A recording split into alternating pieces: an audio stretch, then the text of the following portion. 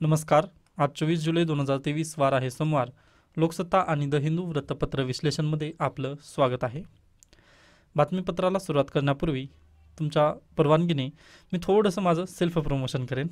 पहा परवा दिवशीचा जो एडिटोरियल व्हिडिओ होता त्याबद्दल आणि काल अगदीच थोडेसे निगेटिव्ह कॉमेंट आले किंवा ते जसं कदाचित तुमच्या पद्धतीने जर सजेशन असतील तर त्या सजेशनला वगैरे थोडंसं न्याय देण्याचा मी प्रयत्न करतो आहे म्हणजे ते कमेंट मी आता डिलीट केलेले आहेत. ओके म्हणजे कदाचित तुम्हाला वाईट वाटू नये परंतु मी त्याचं उत्तर आता म्हणजे ह्या व्हिडिओमध्ये देण्याचा प्रयत्न करतो आहे पहा. अगदीच. सुरुवातीचं जे कमेंट वगैरे होतं तर ते मणिपूरबाबत होतं. व आजच्या मणिपूरबाबतचं पेपरमध्ये आज आलेलं आहे. म्हणजे जे आपण त्या दिवशी जी भीती व्यक्त केली होती ती आज आता इथं आलेली आहे पहा. किंवा काल पण मी वृत्तपत्र बोलत बोलत असताना सांगितलेलंच होतं की असा इश्यू वगैरे जर होत असेल तर स जे सरकार आहे त्यांची नैतिकता तिथं राहिली नाही आहे आता ही न्यूज आहे पण आपण बातमीपत्राला अद्याप सुरुवात केली नाही. त्यामुळे त्या प्रश्नाचं तुम्हाला उत्तर मिळालं असेल. आता ज्या विद्यार्थ्यांनी वगैरे विचारलं असतील त्याचं तिथे म्हणजे ते तुम्हाला मिळून गेलं. ओके. त्यानंतर आणखीन एक होता की परीक्षा सेंट्रिक वगैरे थोडंसं तुम्ही देण्याचा प्रयत्न करा. तर अगदी त्याचं पण एक म्हणजे त्याचं सोल्युशन पण मी घेऊन आलेलं आहे. आता पहा शंकर आय एस ही याची मे महिन्याची ही मॅगझिन आहे. Okay Shankar I S current अफेअर्सची ही मॅगनिज मॅगझिन आहे. व गेल्या वर्षी मी जेव्हा तुम्हाला म्हणजे आपण जेव्हा व्हिडिओ जे सॉरी करंट अफेअर्सचं जेव्हा व्हिडिओ चालू केलं होतं पहा ॲनालिसिसचं त्यावेळेस पण मी तुम्हाला सांगितलं होतं की करंट अफेअर्ससाठी तुम्ही शंकर आय एसची मॅगझिन तुम्हाला वापरायची होती. मी व्हिजन आय एस का सांगत नाही कारण व्हिजन आय एस जर तुम्ही आज सध्याला वापरत आहात तर पहा तुम्ही इंग्रजीमध्ये अगदी चांगल्या पद्धतीने आहात व तुम्हाला मग मराठी माध्यमातून तुम्ही मराठी माध्यमाचे विद्यार्थी नाही. बरोबर? मग आता पहा मी करंट अफेअर्सची जून महिन्याचे पण घेऊन आलो असतो परंतु जून महिन्याची अद्याप त्यांची रिलीज झाली नाही. त्यामुळे मे महिन्याची मी मॅगझिन घेऊन आलो आहे बरोबर? मग पाहता मे महिन्या महिन्याच्या इंडेक्समध्ये जर पाहिलं आपण तर इथं काय आहेत? ऑल इम्पॉर्टंट म्हणजे इम्पॉर्टंट टॉपिक्स पहा त्यांनी काय काय दिले ऑल अबाउट जलिकट्टू त्यानंतर टसल बिटवीन युनियन गव्हर्नमेंट आणि दिल्ली गव्हर्नमेंट त्यानंतर open network for digital commerce आणि आउटकम्स ऑफ जी ट्वे जी सेवन समिट आता पहा मे महिन्यामध्ये मी अगदी हे दोन इश्यू डिस्कस केले नव्हते कारण U P S C prelim जवळ आली होती माझी त्यामुळे मी हे मानतो. परंतु आता हे जे दोन पॉईंट होते ऑल अबाउट जलीकट्टू त्यानंतर tussle between union and Delhi government हे दोन्ही मी डिस्कस केले आहेत. आता जे विद्यार्थी रेग्युलर आहेत ना त्यांना अगदी ही माहिती आहे. आता आपण डायरेक्टली यावरती जर क्लिक केलं तर जाऊन पोहोचतो पहा तर इथे जलिकट्टू आता पहा एखादी मराठी माध्यमातून तुम्ही विद्यार्थी आहात. मग तुम्हाला हे डायरेक्टली एवढं वाचल्यानंतर समजेल का की बाबा हे जलिकट्टू काय आहे किंवा कसं वगैरे यांचं इश्यू काय होता वगैरे हे समजणार आहे का तुम्हाला? ते समजणार नाही. परंतु पहा ही जी टाईमलाईन वगैरे आहे आता हे अगदी चांगली चांगल्या पद्धतीने दिलेलं आहे परंतु त्याच्या मागचं इश्यू काय होता किंवा ते नेमकं सुप्रीम कोर्टामध्ये कशामुळे गेले हे तुम्हाला डायरेक्टली वाचून समजत नसतं काही वेळा. कारण आपण मराठी माध्यमाचे विद्यार्थी आहोत व इंग्रजीमध्ये त्याला ट्रान्सलेशन वगैरे करावं लागतं. त्यामुळे पहा मी माझ्या व्हिडिओमध्ये मराठी माध्यमातून तुम्हाला टाईमलाईन वगैरे सांगितलेली आहे. व इथं पण तेच आहे पहा. म्हणजे आता जे रेग्युलर आहेत त्यांना हे सर्व परत एकदा सांगण्याची वगैरे गरज नाही. व मी ते सांगणार पण नाही. फक्त तुम्हाला दाखवण्याचा प्रयत्न करतो की मी हे क्लासमध्ये वगैरे डिस्कस केलं होतं. व शंकर आय जी मॅगझिन आहे त्यामध्ये पण हेच परत एकदा दिलेलं आहे त्यांनी. म्हणजे सुप्रीम कोर्टाचं व्हर्डिक्ट आलेलं होतं. ते आपण पूर्वी डिस्कस केलेलं आहे. आता मला माझ्यावर विश्वास आहे मी हे घेतलेलं आहे. त्यानंतर आणखीन जे पुढचं होतं युनियन सॉरी जे दिल्ली गव्हर्नमेंटचं बिल होतं पहा त्याबद्दल पण आपण डिस्कस केलं आहे किंवा आत्ताच म्हणजे जेव्हा आपण एडिटोरियल चालू केलेलं आहे पहा एडिटोरियलचं स्पेशल व्हिडिओ त्या दिवशी पण मी याला परत एकदा डिस्कस केलं. म्हणजे तो इश्यू नेमका काय झाला किंवा अरविंद केजरीवाल दुसऱ्या मंत्र्यांना वगैरे का भेटत आहेत हे सर्व आपण डिस्कस केलं आहे त्यामुळे मला नाही वाटत की मी परीक्षा सेंट्रिकच्या अन्य दुसरीकडे वगैरे जातो. हां कदाचित गेलं असेल तरी क्षमस्व त्याबद्दल. परंतु मी काय देण्याचा प्रयत्न करतो तर तुम्हाला अगदी एक थिंकिंग देण्याचा प्रयत्न करत असतो मी इथे. ओके थिंकिंग बाकी हे पहा आता तुम्हाला शंकर मी काय म्हटलेलं आहे याच्यापूर्वी की तुम माझ्या व्हिडिओमधून शंभर टक्के तर तुम्हाला मिळणार नाही. परंतु पन्नास टक्के तरी मी देण्याचा नक्की प्रयत्न करेन. म्हणजे माझ्या व्हिडिओजमधून तुम्हाला पन्नास टक्के नक्की हेल्प होईल. कशाची? तर थिंकिंगची बाकीचे फॅक्ट वगैरे आहेत ना ते फॅक्टसाठी तुम्हाला शंकर आय एसची मॅगझिन तुम्ही वाचला तरी अगदी चालेल. आता पहा इथं देण्यात आलेले आहेत ना प्रिलिम्सचे बीट्स पहा. आता भीम मेला सॉरी बिहान मेला त्यानंतर महाराणा प्रताप. यांचे जे बी जे पॉईंट असतात ना ते मी पण तुम्हाला डायरेक्टली असं पी पी टी वगैरे बनवून देऊ शकत नाही. कारण माझ्याजवळ पण तेवढासा वेळ नाही आहे त्याबद्दल मी क्षमस्व आहे व ते खरंच होऊ शकत नाही. त्यानंतर जे एम पी एस सीचे विद्यार्थी आहेत त्यांना मी याच्यापूर्वी पण म्हटलं आहे की मी तेवढंसं पूर्ण डिटेलिंगमध्ये वगैरे देऊच शकत नाही तुम्हाला. आता पहा एम पी एस सीचे मी व्हिडिओ अगदीच पाहत होतो. म्हणजे ज्या पद्धतीने तुमचे कमेंट वगैरे आले त्यानंतर मी पाहिलं एम पी एस सीमध्ये आता एक मला प्रश्न अगदी मी अवाक झालं त्या स्थितीवरून वगैरे की यू पी एस सीचे जे चेअरमन आहेत त्यांची बदली वगैरे झाली तर त्या संदर्भात तो प्रश्न होता. मग त्या फॅक्टमध्ये वगैरे त्यांनी दिलेलं आहे की पहिली महिला यू पी एस सीची चेअरमॅन एकोणीसशे ब्याण्णव आय समथिंग वगैरे झालेली होती. त्यानंतर जास्त काळ एक म्हणजे जास्त काळ यू पी सीचे चेअरमन कोण राहिलेले होते? एकोणीसशे एकोणपन्नास ते एकोणीसशे छप्पन काहीतरी असं म्हणजे सात वर्षाचा कालावधी वगैरे त्यांचा होता. म्हणजे एवढे असे जर प्रश्न येत असतील तर ते यू पी सीसाठी तुम्ही नाहीत. किंवा माझ्या व्हिडिओमध्ये तुम्ही चुकीच्या व्हिडिओमध्ये वगैरे आलात असं मला म्हणायचं आहे. कारण एवढं फॅक्ट जे असेल ना ते मी खरं खरंच देऊ शकत नाही. व मला लक्षातच राहणार नाही. कारण मी ते चुकीच्या म्हणजे कदाचित तुम्ही चुकीच्या व्यक्तीकडे आलात व मी चुकीच्या व्यक्तीकडे वगैरे गेलो असं ते होईल. त्यामुळे तसे जर असेल तुमची अपेक्षा तर प्लीज माझ्याकडे येऊ नका किंवा ते तुमच्यासाठी हा व्हिडिओ वगैरे नाही हेच मला सांग. त्यानंतर आता आपण बातमीपत्राला सुरुवात करूयात. आय होप तुम्हाला ते सर्व काही म्हणजे मी असं का घेतो किंवा मय साखी हो ते सर्व समजलेलं असेल. ओके तर चला. मिझोरममध्ये मणिपूरचा झाडा आता पहा. जे नेडबंदी झाली किंवा मी काल काय म्हटलं की नैतिकता राहिली नाही मणिपूरमध्ये वगैरे जे काल काही म्हटलं व ज्याचा राग वगैरे आलेला असेल तुम्हाला तर त्याचं मी कारण काय होतं तर ते पाहता आपला मी हे क्लीन कशामुळे करतो तर हा आपला भारत देश आहे. बरोबर? मग ही इथं आहेत नॉर्थ ईस्ट ओके मग हे इथं पहा इथं कोणता राज्य आहे? मिझोरम. व ह्याच्या बाजूला आहे पहा मणिपूर. म्हणजे नकाशावरती डायरेक्टली तुम्ही तसं घेऊ नका परंतु हे असं आहे आपलं. हे आहे मिझोरम. मिझोरम त्यानंतर इथं आहे मणिपूर. बरोबर. मग पहा मणिपूरमध्ये इंटरनेट ब्लॅ इंटरनेट बॅन करण्यात आलं होतं. म्हणजे पूर्णतः ब्लँकेटली बॅन करण्यात आलेलं होतं. मग तिथं नेमका इश्यू काय चालू आहे हे आपला म्हणजे संपूर्ण भारताला काहीच माहिती नव्हतं. आता पहा मी थोडंसं पेनचा कलर चेंज करून सांगण्याचा प्रयत्न करेन. तर पहा हे आहे मणिपूर. बरोबर. मग पहा इथं इंटरनेट बॅन झाल्यामुळे या मणिपूरमध्ये सध्याला काय चालू आहे हे आपला कुणालाच माहिती नव्हतं. ओके. म्हणजे इकडे सगळीकडे आपल्याला काहीच माहिती झालं नाही कारण इंटरनेट बॅन होतं तिथं. मग अगदी झालं तसंच. मग जुलै सात रोजी इंटरनेट बॅन वगैरे उचलण्यात आलं. मग काय झालं? एकू एकू व्हिडिओ वगैरे व्हायरल झाले. व समज म्हणजे आपल्याला समजलं की मणिपूरमध्ये खूप हिंसा वगैरे चालू आहे. मग मणिपूरमध्ये आज सध्याला जे ट्राईब्स आहे मैती ही जी ट्राईब आहे ना मैती जी ट्राईब आहे ना ती बहुसंख्यांकमध्ये आहे. व कुकी जे कुकी जी ट्राईब आहे किंवा मिझो अशा पद्धतीचे जे दुसऱ्या ट्राईब्स आहेत ना ते अल्पसंख्याकमध्ये आहेत. बरोबर? मग म मिझोरममध्ये तीच ट्राईब कशी आहे तर अल्पसंख्याक आहे. मिझोरममध्ये मणिपूरवाली ट्राईब काय आहे? अल्पसंख्याक आहे. परंतु हे जी मणिपूरवाली ट्राई मणिपूरवाली जी अल्पसंख्याक आहे ना ही मिझोरममध्ये काय आहे? तर बहुमतात ही ट्राईब आहे.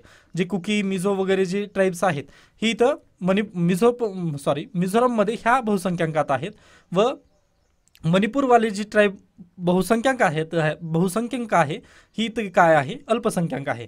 ओके थोडंसं बोलणे चुकली परंतु ते तुम्ही समजून घेतला असाल.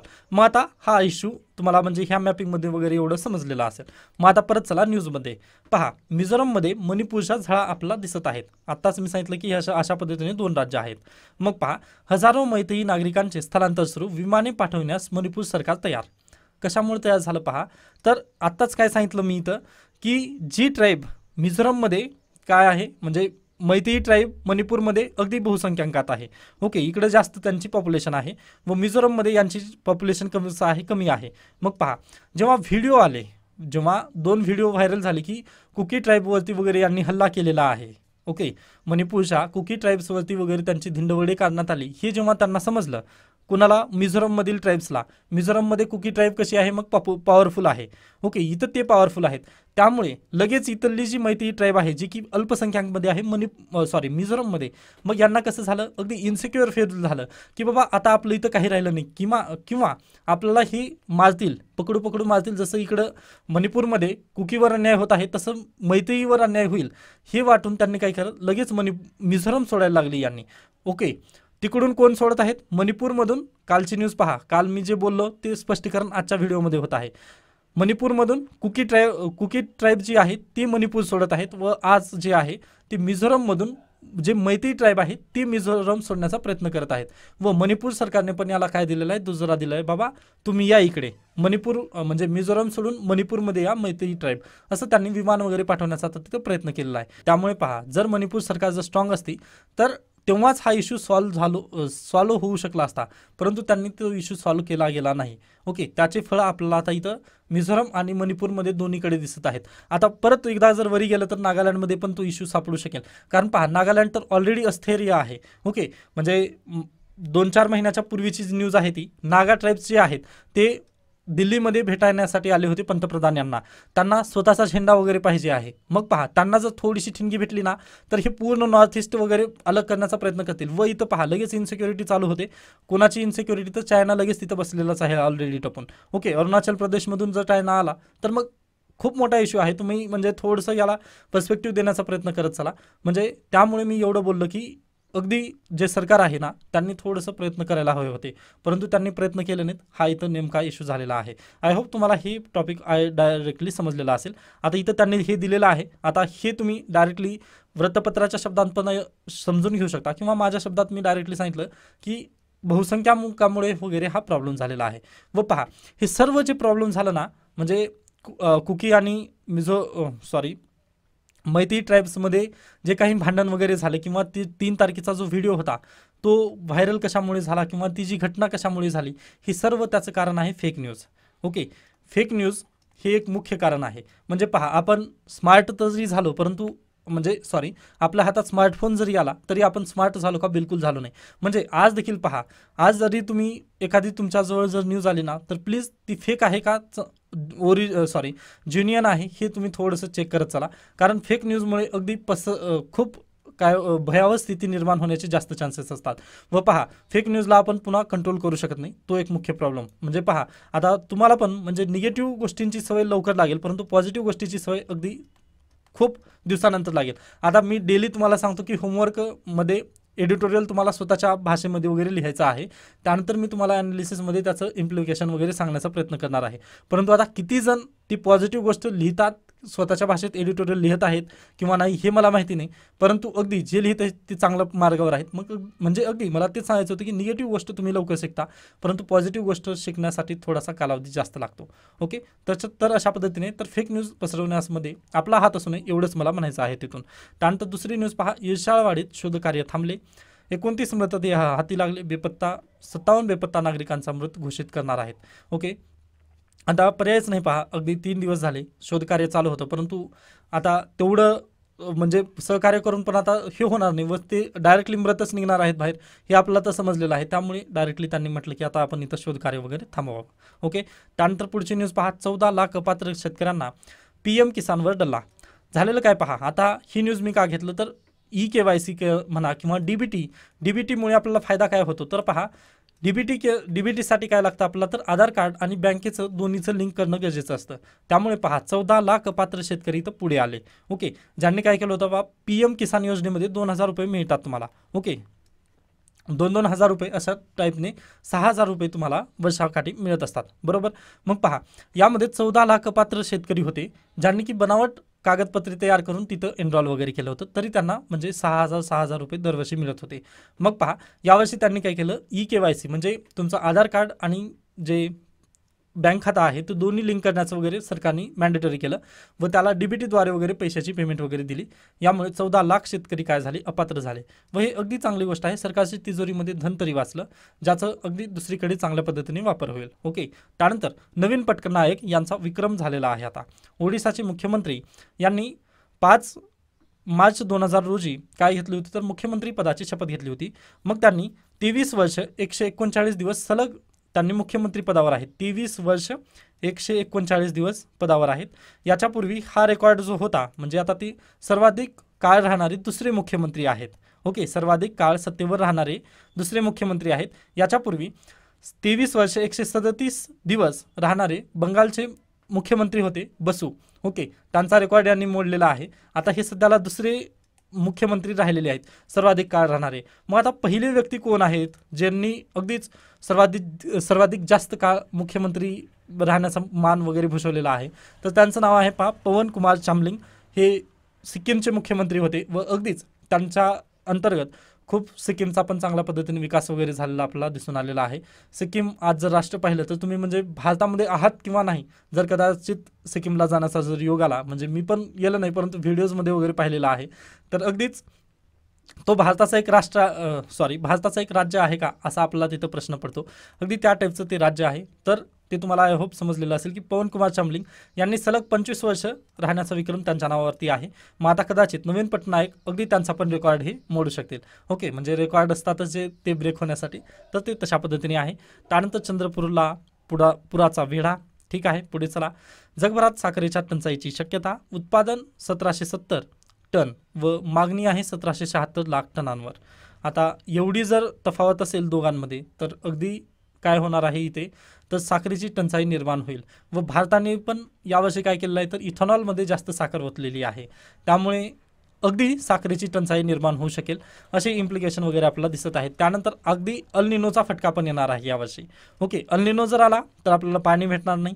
व पाणी भेटलं नसल्यानंतर आपल्याला जर साखरेचं जे उत्पादन होतं ते मागचं आपण यावर्षी तर कंटिन्यू ठेवू शकत नाही. त्यासाठी पहा आपल्याला अगदीच कोणावर डिपेंड राहावं लागेल ते ब्राझीलवरच डिपेंड वगैरे राहण्याचे जास्त चान्सेस आहेत आता. परंतु ब्राझीलने पण यावर म्हणजे याच्यापूर्वीच त्यांनी पण काय केलं इथॉनॉलवरती थोडंसं फोकस केलेलं आहे. त्यामुळे पहा एक वर्ष असा आलेला होता की जेव्हा आपण ब्राझीलला पण मागे टाकून आपण पुढे गेलो होतो. कशामुळे? तर अगदीच ब्राझीलने त्यांची जी साखर होती ती इथेनॉलमध्ये वगळवली. मग जेव्हा आपल्याला जाग आली की बाबा आपण ब्राझीलला पुढे टाक मागे टाकलोय व आपण एक नंबरला गेलोय बरोबर? मग एक नंबरला गेल्यानंतर भारताला जाग आल्यानंतर भारत म्हटलं की आपण पण आता इथेनॉलमध्ये वगैरे इन्व्हेस्ट करूयात. मग भारताने साखर जी आहे ती इथेनॉलमध्ये इन्व्हेस्ट केली. असा तो उपक्रम वगैरे राहिलेला होता. परंतु आता सध्याला भारतामध्ये जर अल्निनोचं जर सावट आलं आता सध्याला तरी पाऊस चांगल्या पद्धतीने पडत आहे. परंतु जर अल्निनोचं जर सावट आलं तर अगदीच आपल्याला ही पूर्ण स्थिती जी आहे ती युटर्न मारल्यासारखी दिसणार आहे. आहे. ओके मग पाहूयात आता अद्याप यावरती काही बोलण्यासारखं नाही आहे परंतु हा इश्यू चर्चेत होता हे तुम्हाला मा माहिती असणं तरी गरजेचं आहे. त्यानंतर पुढे चला अमित ठाकरे यांचे वाहन रोखल्याने तोडफोड समृद्धी महामार्गावर सिन्नर तालुक्यातील टोल नाक्यावरील ही घटना आहे. आता या घटनेचा इथिकल पर्स्पेक्टिव्ह मी बोलणार नाही किंवा पॉलिटिकल पर्स्पेक्टिव्ह पण मी बोलणार नाही. परंतु यांनी काय म्हणत आहेत की अर्धा तास तिथं वाहन वगैरे रोखल्याचा त्यांनी दावा केला.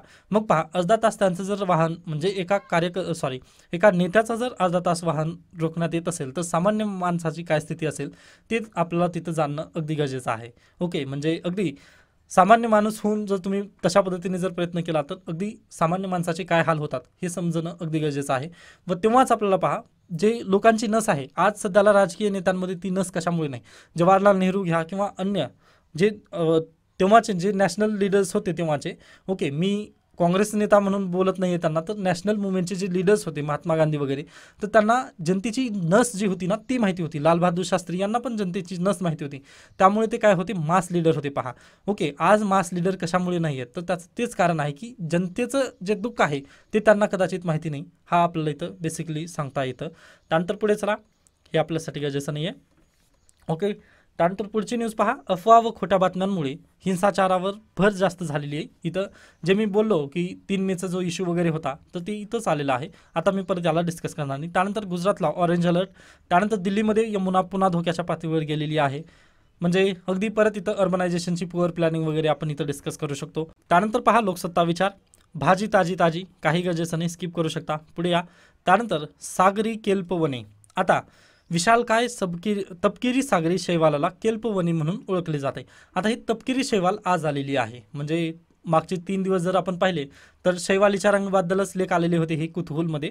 तर आज आलेलं आहे केप सॉरी सा विशालकाय तपकिरी सागरी शैवालाला केल्प म्हणून ओळखले जाते व हे कुठे सापडले जातात प्रामुख्याने तर पॅसिफिक आणि अटलांटिक महासागरामध्ये समशीतोष्ण आणि ध्रुवीय भागात हे दिसून येतील. ओके? तर हे विशालकाय तपकिरी याला केल्प म्हणून देखील ओळखलं जातं. तर हे फक्त तुम्हाला माहिती असू द्या. बाकी आता हे येईल न येईल याबद्दल मी सांगणार नाही. परंतु U P C E P F ओला इथूनच प्रश्न आलेला होता. त्यामुळे मी डायरेक्टली तेव्हापासून म्हटलं की आपण या या वृत्तपत्रामधून जर कुठं पण परीक्षेला जर कामाची चीज दिसली तर मी तिथं सोडायचं नाही. तेव्हापासून मी हे पण कौतूहल घेत आहे. ओके. तांट संपादकीय नवीन प्राण चाहिये गरजेचं नाही. दोन हजार चार म्हणजे दोन हजार चौदापासून भाजपचं नवीकरणीय कशा पद्धतीने झालं किंवा भाजपचं काँग्रेसायझेशन कशा पद्धतीने झालं हा इथं डिस्कस केलेला पॉईंट आहे. पॉलिटिकल ऑब्झर्वर या नात्याने प्लीज तुम्ही पण हा लेख वाचून घेऊ शकता. किंवा माझ्या बोलण्यातून तर ते तुम्हाला समजून येईलच की बी जे पीचं काँग्रेसायझेशन कशा पद्धतीने झालं म्हणजे सर्व तुम्हाला लेख समजलेला असेल असं मला वाटते त्यानंतर पुढे जाऊयात आपण. स्किप करू शकता काही गरजेचं नाही हे पण स्किप करा. इस्रायलचा इश्यू आहे. ठीक आहे पण आपण त्याला अद्याप घ्यायची गरज नाही आहे त्यानंतर सकर सॉरी सरकीला तेलबिया मिश मिशनचा भाग बनवण्याची गरज आहे आपल्याला सध्याला. तर जी सरकी सर्वांनाच माहिती असेल मग आता तिला तेलबियाचा मिशन कशा पद्धतीने बनवू शकतो किंवा का गरजेचं आहे तर ते पाहूयात. पहा दोन हजार वीसमध्ये पंतप्रधान नरेंद्र मोदी यांनी म्हटले की आता आपला आत्मनिर्भर व्हायचं आहे बरोबर? आत्मनिर्भर होणं म्हणजे काय? तर आपण स्वतःवर डिपेंड होणं. पण आपण स्वतः स्वतःवर सध्याला डिपेंड आहोत का? बिलकुल नाही. एक गोष्ट आहे ज्यामध्ये खनिज तेल. खनिज तेल त्यानंतर कोळसा यामध्ये तर आपण स्वतःवर डिपेंड होऊ शकतो का? बिलकुल नाही. त्यामुळे आपण तो ती बाब जी आहे तिला स्किप करूयात की आपण तिथं सेल्फ डिपेंडंट वगैरे होऊ शकत नाही. परंतु दुसरी एक गोष्ट आहे जिथं आपण सेल्फ डिपेंड होऊ शकतो ते आहे तेल. ओके जे खाद्यतेल आहे ना तिथं आपण तरी सेल्फ डिपेंड होऊ शकतो. परंतु अद्याप सेल्फ डिपेंड आहोत का तिथं मग आपण? बिलकुल झालो नाही. कशामुळे झालं नाही मग? ते आपण इथं डिस्कस करणार आहोत. तर पहा आयात निर्भरता कमी होण्याबरोबरच शक्य तिथे निर्यात वाढवण्याची गरज येईल. याबाबत देखील विशेष योजना आखल्या जात आहेत सध्याला. ती चांगली गोष्ट आहे. त्यानंतर आजही पासष्ट ते सत्तर टक्के म्हणजे चौदा ते पंधरा लक्ष दशलक्ष टन तेल आपण आयात करीत आहोत. आपल्या देशाला पहा चोवीस ते पंचवीस दशलक्ष टन तेलाची सॉरी चोवीस ते पंचवीस दशलक्ष टन खाद्यतेलाची गरज आहे. हे टक्के नाही आहे तर दशलक्ष टन या तेलाची एवढ्या तेलाची गरज आहे. मग ह्या पहा पंचवीस आपण घेऊयात की पंचवीस दशलक्ष टन ओके पंचवीस दशलक्ष टन तेलाची आपल्याला खाद्यतेलाची गरज असते दरवर्षी. या पंचवीस दशलक्ष टनापैकी आपण किती? पासष्ट ते सत्तर टक्के. ओके पासष्ट ते सत्तर टक्के जे तेल आहे ना ते आपण दुसऱ्या देशांकडून आयात करतो. आता हे कोणत्या देशांकडून वगैरे आयात करतो हे आपण याच्यापूर्वी डिस्कस केलेलं आहे. ओके कदाचित ते तुम्हाला माहिती पण असेल पण जर माहिती नसेल तर आता ते तुमचं होमवर्क असेल. कारण मी याच्यापूर्वी सांगितलेलं आहे ते. आता मला म्हणजे लेखवरती थोडंसं कॉन्सन्ट्रेशन करू द्यात नाहीतर मी अगदी दुसरी कोणती गोष्ट सांगण्यात प्रयत्न करेन. तर पहा पासष्ट ते सत्तर टक्के तेल आपण दुसरीकडून आयात करतो. म्हणजे पंचवीस दशलक्ष टनपैकी फक्त तीस टक्के तेल आपण आत्मनिर्भर आहोत. मग एवढं आपला आत्मनिर्भरतेमध्ये आता आपलं आपला आत्मनिर्भर होण्याची गरज आपल्याला तिथं भासते. कारण सत्तर टक्के आपण तेल दुसऱ्या देशांकडून आयात करतोय. मग पहा या तेलाचं जर आपण म्हणजे पैसे जर फेडायचे म्हटले तर अगदीच आपला परकीय जे गंगाजळ आहे ते अगदी जास्त जातं. म्हणजे काय होतं आपलं? फिजल डेफिसिट इथं निगेटिव्ह जातं. ओके फिजल डेफिसिट इथं निगेटिव्ह होतं. यासाठी आपला तेलामध्ये आत्मनिर्भर होणं अगदी गरजेचं आहे. हे आपलं इथं या गोष्टीवरून समजून आलं. त्यानंतर आता पुढे जाऊयात. मग पहा आपल्याकडे सध्याला आपण आत्मनिर्भर कोणत्या गोष्टीमध्ये आहोत? किंवा आपण जे तेल काढतो आज खाद्यतेल जे म्हणतो आपण ते कोणत्या गोष्टीमधून वगैरे उत्पादन घेतो? तर अगदी सोयाबीन आहे मोहरी आहे. यांच्या उत्पादनामधून काय घेतो आपण आज? तर खाद्यतेल वगैरे काढत असतो. परंतु पहा यामध्ये आपण आत्मनिर्भर होण्यासारखी म्हणजे आत्मनिर्भर होण्यासारखी वगैरे गोष्ट आहे का? किंवा सत्तर टक्के तेल सोयाबीनपासून किंवा मोहरीपासून वगैरे आपण उत्पादन करू शकतो का? बिलकुल करू शकत नाही. कारण पहा आज मध्य प्रदेश महाराष्ट्र वगैरे जे आहेत या राज्यांमध्ये सोयाबीनचं उत्पादन जास्त घेतलं जातं. परंतु तेवढं उत्पादन संपूर्ण देशाला वगैरे तेल पुरू शकत नाही सोयाबीनचं. त्यानंतर जी एम मोहरी जी आहे ती आत्ता मार्केटमध्ये म्हणजे अद्याप त्यांचं हे चालू आहे संशोधन चालू आहे. त्याला अद्याप मार्केटमध्ये यायला आणखी भरपूर वेळ आहे. किंवा सोयाबीनला पण आपण जर जी एम क्रॉपमध्ये वगैरे जर त्याचं रूपांतर केलं तरी पण त्याला मार्केटमध्ये संपूर्ण भारताला पूर्ण पुरून उरण्याजोगी जर सोयाबीन होण्यासारखी होण्यासाठी आपल्याला खूप दिवस लागतील. बरोबर? मग आपण या गोष्टीमध्ये आत्मनिर्भर होऊ शकतो का? सोयाबीन आणि मोहरीमध्येच? तर बिलकुल होणार नाही व याला आपल्याला काय जास्तीत जास्त वेळ लागेल. परंतु पहा मग हे तर सोयाबीन आणि मोहरीला तर आपण विसरून जाऊ शकतो. ते आपलं आता भविष्य नाही असं आपण तिथं म्हणू शकतो. मग याला आपण दुसरीकडे फोकस करू शकतो का मग? दुसऱ्या एखाद्या पिकावर वगैरे जाऊ शकतो का? तर बिलकुल जाऊ शकतो. ते आहे सरकी. कारण पहा सर्वांना माहिती आहे कॉटन जे आहे किंवा कापूस जे आहे कापूसचा आपण अगदीच लागवड तर जास्त होत असते. महाराष्ट्रामध्ये पण त्याचा अगदी लागवड आपण करत असतो. आपल्याकडे जी ही सरकी आहे ह्या सरकीला आपण आता सध्याला तेल काढण्यासाठी त्याचा वापर करत नाही. तर आपण कशासाठी वापर करतो? तर पेंड काढण्यासाठी किंवा पेंडसाठी त्याचा वापर करतो व पेंड बनवून ती काय करतो? आपण पशूंचं खाद्य बनवून त्यांना म्हणजे पशूच्या खाद्यासाठी वगैरे या पेंडचा वापर करत असतो किंवा सरकीचा वापर तिकडे करतो आहोत आपण. परंतु आपल्याला माहिती आहे सत्तर टक्के आपल्याला काय? तेलाचं डेफिसिट आहे किंवा स तेलाची गरज आपल्याला आहे. हे आपण इथं पूर्वी पाहिलेलं आहे. बरोबर? मग पहा आता सरकीला आता खाद्य म्हणजे पशुखाद्य बनवण्यापासून आपण काय? तर इकडे कुठे? तर अगदीच सत्तर टक्केमध्ये कुठेतरी थोडासा तरी वाटा सरकीचा पण असावा. इकडे आणण्यासाठी वगैरे आपण इथं काय त्याला अगदीच त्याचा वापर वगैरे करू शकतो किंवा सरकीचा तेलासाठी वापर नक्की करू शकतो. कारण सध्याला जे सरकी आहे ते अगदी वेस्टफुल आहे किंवा अगदीच पशुखाद्य म्हणून त्याचा वापर केला जातोय. बरोबर. मग पहा तर त्यामध्ये कसं भर पडू शकते? तर पहा सरकीमध्ये सोळा ते सतरा सोळा ते अठरा टक्के तेल देण्याची क्षमता असते. ओके. सोळा ते अठरा टक्के तेल देण्याची क्षमता असते. तरी देखील पहा आपण दहा टक्के पण त्याच्या दहा टक्के पण तेल काढू शकत नाही. का तेल काढू शकत नाही? कारण पहा आपल्याकडे जी पद्धत आहे किंवा जी त्याची तेल काढण्याची जी क्षमता वगैरे आहे ती जी मशिनरीज वगैरे आहेत ती आपल्याकडे चांगल्या पद्धतीने मशिनरीज वगैरे नाहीत किंवा जी पद्धत आहे ती चुकीची आहे असं आपण तिथं कन्सिडर करू शकतो. त्यामुळे फक्त आपल्याला दहा टक्केच तेल वगैरे निघतं सरकीचं. त्यामुळे आपण याचं डायरेक्टली काय करतो तर पेंट वगैरे बनवण्याला प्रोत्साहन देतो. मग कदाचित जर आपण यामध्ये इनोव्हेशन केलं किंवा रिसर्च वगैरे जर या सरकीबाबत जर रिसर्च केलं तर परिणाम कसं होईल पहा? अगदी आपण ही सरकी आहे. ओके ही सरकी आहे. सरकीला पहिल्यांदा काय करायचं? तर अगदीच तेल तेलाच्या मशिनीमध्ये वगैरे घालायचं किंवा तिथून तेल काढायचं व जे उरलेलं म्हणजे जी सरकी आहे किंवा जी पाजट वगैरे आहे त्यापासून आपण पेंट बनवू शकतो. म्हणजे याचे दोन उपयोग इथं नक्की होऊ शकतील.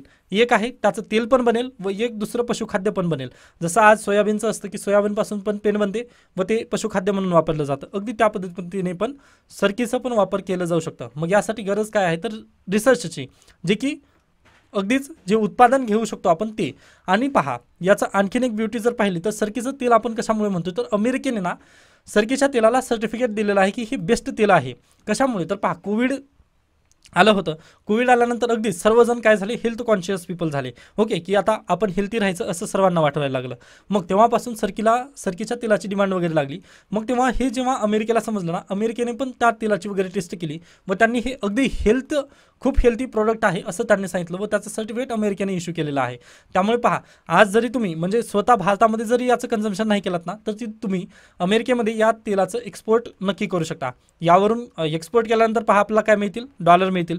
मग हे जे डॉलर आहेत ना हे तुम्ही अगदीच इंडोनेशिया वगैरे जे ज्या देशाकडून मलेशिया वगैरे या देशाकडून जे तेल आपण आयात करतो ना त्या तेलांना काय करू शकतो आपण? हे परकीय गंगाजळमध्ये वगैरे त्यांची परतफेड करू शकतो. यामुळे काय आपला पण फायदा इथं नक्की होईल. म्हणजे थोडंसं बर्डन वगैरे आपलं इथं या सरकीच्या तेलामुळे कमी होईल हे आपलं इथं पाहता येतं. मदत होऊ शकेल. यासाठी आपला सरकीला तेलबिया मिशनमध्ये आणणं गरजेचं आहे. हे आपलं इथं अशा पद्धतीने सांगता येतं. त्यानंतर आपण पुढे जाऊयात. बाकी गरजेचं नाही. तर अशा पद्धतीने आजचं लोकसत्ता इथं संपतं. त्यानंतर पहा आजचं द हिंदू. द हिंदूमध्ये पण अगदीच दोन चार बातम्या आहेत त्या पाहूयात आपण. तर पहा तेरा हजार डिटेंड इन मणिपूर. पहा एवढी स्थिती भयावह आहे. तेरा हजार पीपल इथं काय डिटेंड आहेत? मग मी याबाबत बोलू नये का? किंवा आपला तो अधिकार आहे पहा किंवा अगदी कर्तव्य आहे ते आपलं बोलणं. ओके अधिकारच्या पलीकडे पण जाऊन आपण ते कर्तव्य आहे असं म्हणू शकतो. कारण आपल्या बंधूंवरती वगैरे कुठंतरी अत्याचार होत असतील तर ते आपलं बोलणं कर्तव्य आहे. ओके तर त्यासाठी पहा अगदी मणिपूरचा इश्यू लवकरात लवकर सॉल्व्ह व्हावा हीच आपली ईश्वरचरणी प्रार्थना. त्यानंतर railway post Balasore plan to speed up signalling revamp may take long years आता पहा सिग्नलिंग लवकरात लवकर करू असं त्यांनी म्हटलं होतं परंतु सिग्नलिंगची इश्यू खूप आहेत असं तज्ज्ञांचं वगैरे म्हणणं आहे. त्यामुळे आणखीन काही कालावधी वगैरे लागेल असं त्यांचं म्हणणं आहे. ठीक आहे पाहूया त्यानंतर पुढे चला. ट्रॅव्हल्सचे इश्यू वगैरे दिलेले आहेत. स्किप करा. त्यानंतर पुढे या. B J P leaders face boycott in Haryana over Samrat Mihir Bhoj. आता ही कॉन्ट्रवर्सी काय झाली ही मी वाचत नाही आहे तर पहा याचं जो सम्राट मिहीर भोज आहेत हे काय होते हे तुम्हाला इतिहासात तुम्ही शिकाल. किंवा कन्नौज आता ज्यांनी अगदीच इतिहासाला प्रेफरन्स दिलेला आहे किंवा इतिहास जेव्हा शिकलेला आहे तर जे मिहीर भोज किंवा भोज प्रथम वगैरे भोज पहिला राजा वगैरे जे तुम्ही शिकला असाल पहा. ओके गुजरपती हा राज्य वगैरे. तर तिथलं आहेत हे. हो. ओके भोज प्रथम किंवा मिहीर भोज म्हणून त्यांचं नाव आहे ते. तर कन्नौज ही त्यांची राजधानी होती गुजर प्रतिहार यांची. आज उत्तर प्रदेशमध्ये आहे हे कन्नौज. तर पहा ट्रायपार्टिएट म्हणून असं एक तिथं हे होतं म्हणजे कन्नौजबद्दल भांडण वगैरे व्हायचे. आता ते मी पूर्ण इतिहास तर सांगू शकणार नाही तुम्हाला परंतु कन्नौजबाबतचं तुम्ही इतिहा एकदा इतिहास पहा. म्हणजे आज जसं दिल्ली आहे ना पूर्वी तसं कन्नौज होतं. म्हणजे सगळ्यांची फाईट जी असायची ती कन्नौजबाबत असायची. म्हणजे मी मला जर सिद्ध करायचं असेल की माझं वर्चस्व किंवा मी जर भला बलाढ्य जर राजा जर असेल तर मला काय करावं लागायचं? तर कन्नौजवरती माझं वर्चस्व वगैरे प्रस्थापित करावं लागायचं. ओके अशा पद्धतीची ती स्थिती होती. तर त्यासाठी पहा एकदा हे चर्चेत आहे त्यामुळे सम्राट मिहीर भोज यांची जी ही आहे म्हणजे हिस्ट्री वगैरे ती एकदा प्लीज वाचून घ्या मिडिवल हिस्ट्रीमध्ये वगैरे. तर ते त्या संदर्भात आता हे तुमचं होमवर्क असेल म्हटलं मी. आता मी ती घेऊ शकत नाही किंवा ही इतिहासाचा टॉपिक मी तर कवर करू शकत नाही कारण इतिहासाचे बॅकवर्ड लिंकेजेस वगैरे असतात. ओके? फक्त ते बॅकवर्ड लिंकेजेस सांगण्याचा मी प्रयत्न केला. त्यानंतर डेलमॅच आणि हे a case of a new pronoun of A I हे दोन्ही जे लेख आहेत ते तुम्हाला वाचायचे आहेत. याचं जे ॲनालिसिस असेल यापैकी एक जो मोस्ट आय एम पी जो लेख असेल त्या लेखचं मी विश्लेषण रात्रीच्या व्हिडिओमध्ये नक्की करणार आहे. ओके त्यानंतर पुढचा लेख आहे पहा. Will generic supply of bedaquiline be accessible मग आता हा इश्यू काय आहे नेमका पाहूयात. आता पहा यामध्ये एक होमवर्क असेल तुमचं. तर T V what is T V किंवा ट्युबरसिलॉसिस त्याचे काय म्हणतो आपण? तो डेडली डिसीज कशा पद्धतीने आहे? किंवा टी व्हीमध्ये काय काय होतं हे सर्व जे आहे ते तुमचं होमवर्क असेल. आज टी व्ही तुम्ही एकदा यूट्यूबवरती पण भरपूर व्हिडिओ आहेत किंवा एकदा गुगल सर्च करा तिथून वाचून घेऊ शकता तुम्ही.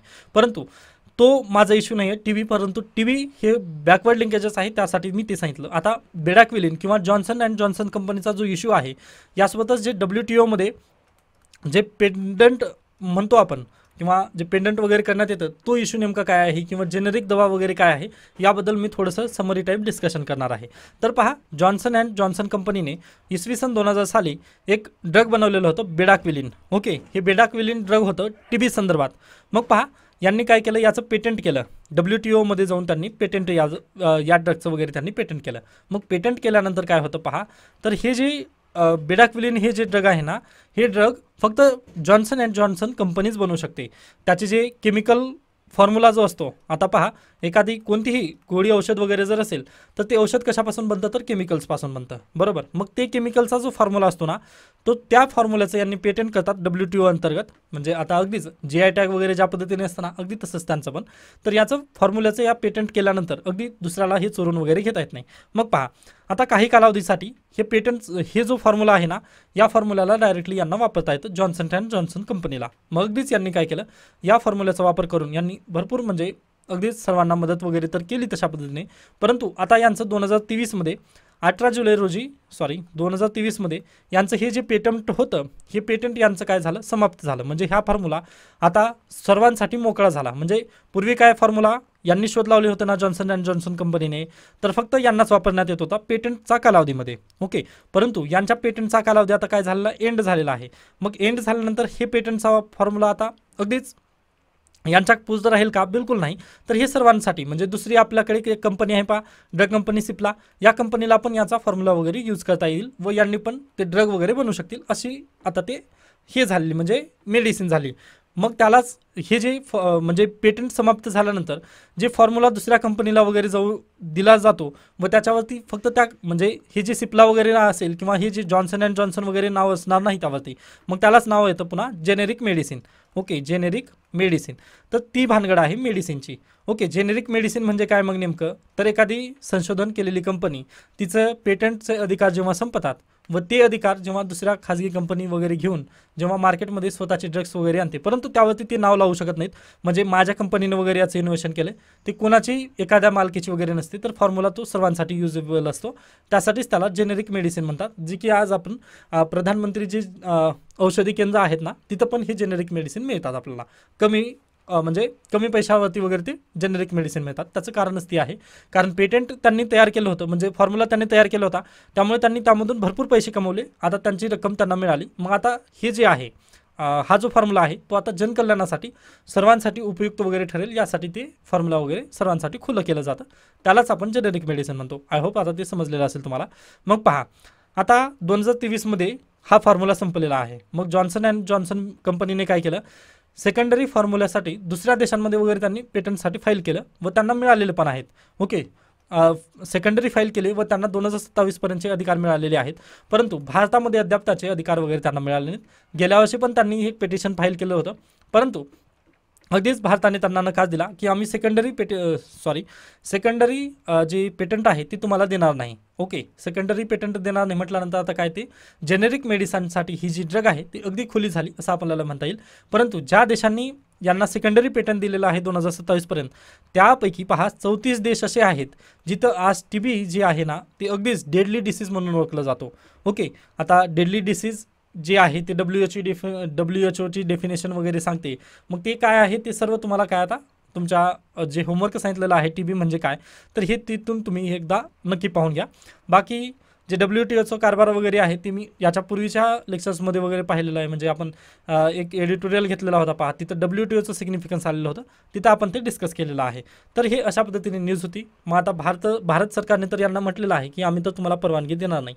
परंतु आता चर्चेत काय आहे सध्याला? तर अगदीच टी बी वगैरे आहे त्यानंतर जेनेरिक मेडिसिन आहे.